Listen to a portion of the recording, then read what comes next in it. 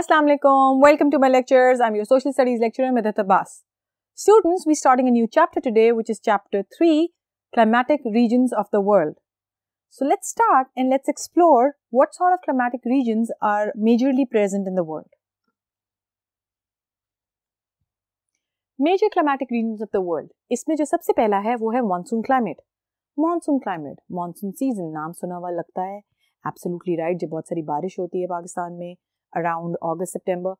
yes it's the same climate I am talking about लेकिन ये climate सिर्फ़ पाकिस्तान में नहीं होता, ये वर्ल्ड के और भी बहुत सारे मेजर रीजन में होता है। So let's take a look at what are the characteristics of this climate Wind blows from southwest direction half the year and other half year wind blows from northeast direction. मतलब आधा साल south west direction से wind blow करती है और आधा साल opposite direction north east direction से करती है। अब ये जो विंड्स हैं दे आर करेक्टराइज्ड वो इसलिए क्योंकि जब ये ओशन से, पानी की तरफ़ से ज़मीन लैंड की तरफ़ आती हैं तो ये अपने साथ बहुत सारा मॉइस्चर लेके आती हैं। And that moisture eventually falls as rainfall because of high temperature क्योंकि अगर उस रीजन का टेम्परेचर हाई है which is like in summers तो जो भी वाटर वेपर एयर में होगा, वो कंडेंस करके in the form of rainfall fall कर जाएगा। ये क्लाइमेट मेजरली सब कॉन्टिनेंट में साउथ ईस्ट एशिया में small areas in the western Australia western Africa in southern USA में ये क्लाइमेट पाया जाता है। एशिया में अगर हम इसको डिस्कस करें तो जब साउथ वेस्ट साइड से विंड ब्लो करती है तो वो ब्लो करती है अप्रैल टू अक्टूबर और अप्रैल टू अक्टूबर जब वो ब्लो करती है तो it carries majorly rain with it and the other half of the year north east direction से जब विंड कैरी करती है तो वो नवंबर टू मार्च ब्लो करती है और ये विंड जो है, वो यूजली ड्राई और कूल cool होती है। That's because Asia has summers in those months and November to March you usually experience winters okay monsoon basically occur in tropic region way is high and monsoon land fertile agricultural regions ऐसा क्यों है? This means के monsoon tropic region में होता है। Tropic reason का मतलब वो रीजन ऑफ़ द वर्ल्ड है जहाँ टेम्परेचर इज़ हाई गर्मी ज़्यादा होती है। गर्मी ज़्यादा होना, जैसा कि मैंने आपको पहले भी स्टार्ट में एक्सप्लेन किया कि when the temperature is hot it causes the water vapour in the wind blowing to condense जो वाटर वेपर विंड के अंदर ट्रैप्ड होता है, उसको ये कॉज करता है कि वो पानी में बदले और फिर एज रेनफॉल बारिश के तौर पे बरस जाए। Since it causes a lot of rainfall a lot of rainfall का मतलब है कि जो लैंड है, जो सॉइल है, वो बहुत फर्टाइल है, बहुत जरखेज है and it is very suitable for growing crops majorly Jin region में मानसून क्लाइमेट होता है, वहाँ पे डेसिडुअस फॉरेस्ट पाए जाते हैं। डेसिडुअस फॉरेस्ट का मतलब है कि the major trees are teak hardwood bamboo और इन सब के जो कमर्शियल यूजेस हैं, वो बहुत ज़्यादा हैं। फॉर एग्ज़ाम्पल टीक और हार्डवुड जो है, वो बेसिकली फर्नीचर बिल्डिंग्स इन जैसी चीज़ों में यूज़ होती है। एंड बैम्बू वो कंस्ट्रक्शन के यूजली कामों में काम आता है।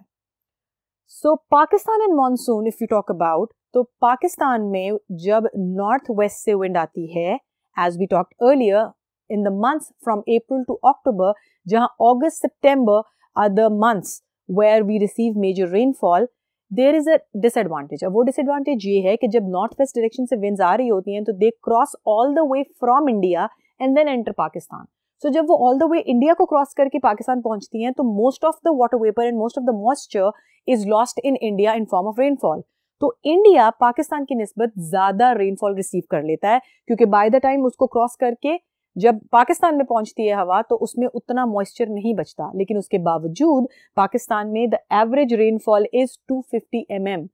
whereas India में it is 450 fifty M M so all and all we can say monsoon climate is a climate with heavy rainfall which is very useful for the crop and for the soil moving on Mediterranean climate ये ऐसा क्लाइमेट है which is found between 30 to 45 degrees latitude on the western side of the continents ये exact location है उस reason की जहाँ पे मेडिटेरेनियन क्लाइमेट होता है।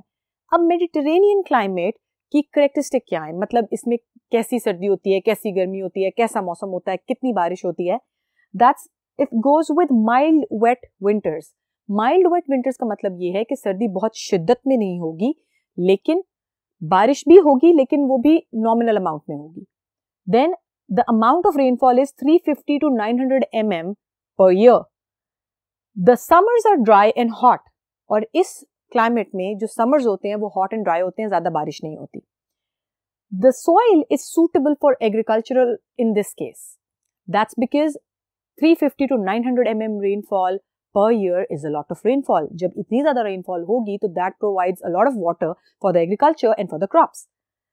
अब इन रीजन में जहाँ मेडिटेरेनियन क्लाइमेट होता है, इसको one of the most favourite climate भी कहा जाता है, क्योंकि इसमें जो फ्रूट्स और वेजिटेबल्स ग्रो किए जाते हैं there like grapes oranges lemons peaches apricots ये वो सारे फल हैं जो उन रीजन में ग्रो किए जाते हैं जहाँ मेडिटेरेनियन क्लाइमेट होता है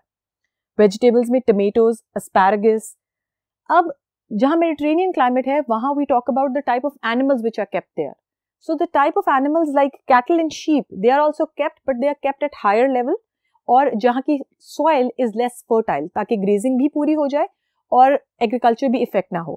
प्लस शीप और कैटल की जो स्किन और वुल है वो इकोनॉमिकली यूजेज में आ जाती है। For preparing bags for preparing clothes for preparing carpets there are many uses of the skin and the wool of such cattle and sheep.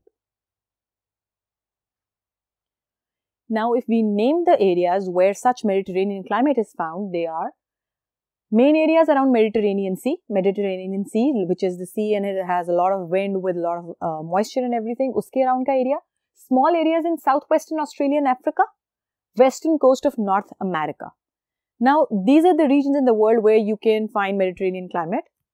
Moving on, we have tundra. Tundra refers to the coldest temperatures. It refers to ice and rock deserts and they cover almost 10% of the earth. Ice and rock deserts isliye because it has very less amount of rainfall, very cold temperatures which is like in negative and the summers are not even near to being hotter. The temperatures in summers are somewhere near 4 to 5 degrees Celsius which means the normal cold temperature in Pakistan. Tundra का जो summers का temperature है, वो पाकिस्तान की winters का temperature है। So that actually signifies कि ये कितनी ठंडी जगह की हम बात कर रहे हैं, जहाँ पे रहना किसी इंसान या जानवर दोनों के लिए बहुत मुश्किल है। There are two types of tundra Arctic tundra and alpine tundra Arctic tundra is found towards poles north pole south pole वहाँ पे जो रीजन हैं, जहाँ there is ice and there is snow वहाँ पे है and then alpine tundra mountain above timber line where nothing can grow it is talking about that arid area जहाँ पे कुछ ग्रो नहीं कर सकता। If you talk about Arctic tundra तो सबसे पहले अगर हम बात करें तो it is always covered with snow north pole south pole there always covered with snow summers have a temperature of plus four to five degree Celsius and the winters have a temperature of negative thirty to degrees negative मनफी बत्तीस degree दर्जा हरारत होता है winters में Arctic Tundra में। और वहाँ इतनी डार्कनेस होती है कि the longest night can be up to twenty two hours dark बाईस घंटे लंबी। They are no trees only stunted shrubs can grow that's because जो टॉप सॉइल है, वो समर्स में थोड़ी बहुत ऑब्वियसली टेम्परेचर जब चार पाँच डिग्री पे राइज करता है तो थोड़े बहुत छोटे मोटे प्लांट और shrubs which in forms of tough grass और फंजाई कैन ग्रो बट जब सर्दी हो जाती है और टेम्परेचर मनफी दर्जा हरारत में चला जाता है so the top soil freezes beneath so many layers of ice कि उसको हम मैंशन करते हैं as permafrost down deep the soil layer it's all frozen and when it is frozen this happens in winters तो जो थोड़े बहुत ये टफ ग्रास और फन जाए पॉसिबल थे समर्स में, वो विंटर्स में बिल्कुल पॉसिबल नहीं होते. If you talk about the the animals living there so polar bears fox wolves hares caribou reindeers ये सब वो जानवर हैं जो आर्कटिक में रहते हैं। ये अल्लाह की कुदरत है कि इतनी शदीद सर्दी के बावजूद अल्लाह ने ऐसे जानवर बनाए हैं जो उस जगह पे, इस टेम्परेचर पे बड़े आराम से रह देते हैं। फॉक्स आपको पता है यू टॉक अबाउट लूमरी वुल्व्स हैं। रियंडर रियंडर इज़ बेसिकली बारह सिंगा so yes there are animals which are adapted to live in such places लेकिन इंसानों के लिए वहाँ रहना ऑलमोस्ट नामुमकिन है और जो लोग रहते हैं, वो बहुत शदीद गर्म कपड़ों के साथ या बहुत कवर होके, जैसे you can talk about igloos and you can talk about Eskimos वो लोग जो इतनी शदीद ठंडे इलाकों में रहते हैं या वो लोग जो चोटियाँ सर करते हैं या as like we studied in the same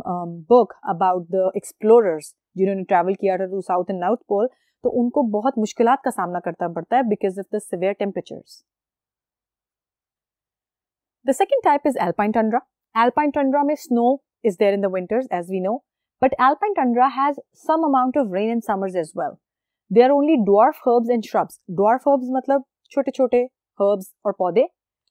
mountain sheep and goats can live there in summers only summers में टेम्परेचर इस काबिल होता है कि mountain sheep and certain type of goats can only live there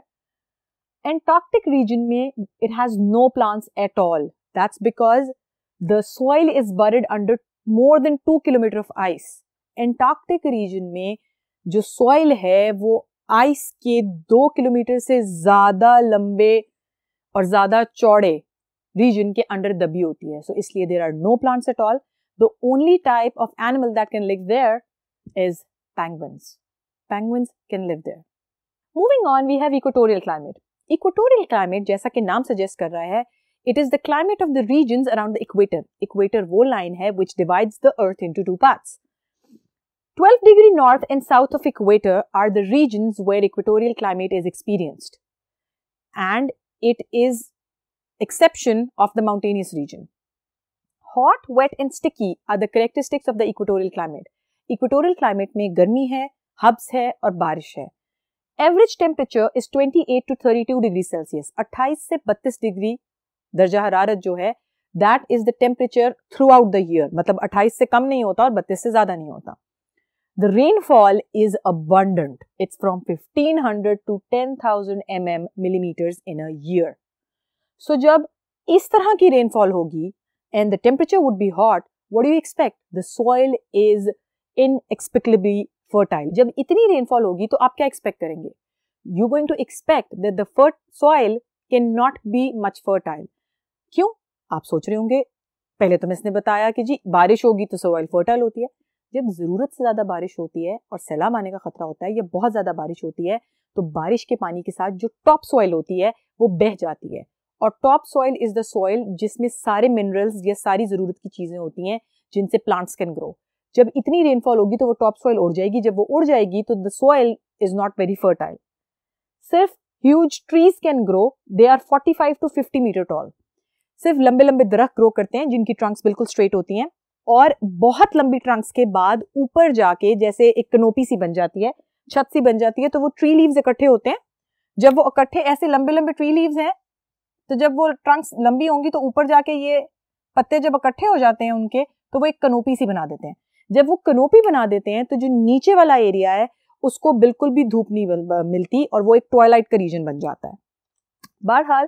huge creepers grow up the tree trunks अब जो tree Trunks इतनी लंबी हैं लाइक पैंतालीस से पचास मीटर लॉन्ग उन ट्री ट्रंक्स के ऊपर ह्यूज क्रीपर्स क्रीपर्स वो बेल होती है जो ग्रो करती है, वो बेल ग्रो करती है। जब वो बेल ग्रो करती है तो there are animals which live there अब ट्री के अपर रीजन में there are monkeys there are birds and in the lower region जहाँ क्रीपर्स हैं, वहाँ लिजिड्स हैं, वहाँ स्नेक्स हैं, वहाँ इंसेक्ट्स हैं, वहाँ बटरफ्लाइज हैं, कुछ दिमाग में आ रहा है? I am talking about forest like Amazon forest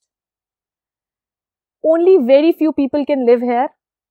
but ऐसी जगह इकोनॉमिकली बहुत फ़ायदेमंद होती हैं। वो कैसे? टिम्बर जो सबसे आला क्वालिटी की वुड है, वो ऐसी जगहों से, ऐसे फॉरेस्ट से आती हैं। And this timber is use to make furniture in a lot of other things which are useful for humans rubber coffee sugar cane mangoes these are the fruits which are also found there सिर्फ़ एक हैरानगी वाली बात है कि fruits usually top पे grow करते हैं but in such forest sometimes the fruit even directly comes out of the trunk थोड़ा डिफरेंट है ना? That is why it is a different kind of a forest so here I am going to end today's lecture in next lecture will be discussing the temperate grassland and the and will discuss the question so तब तक के लिए अल्लाह हाफिज।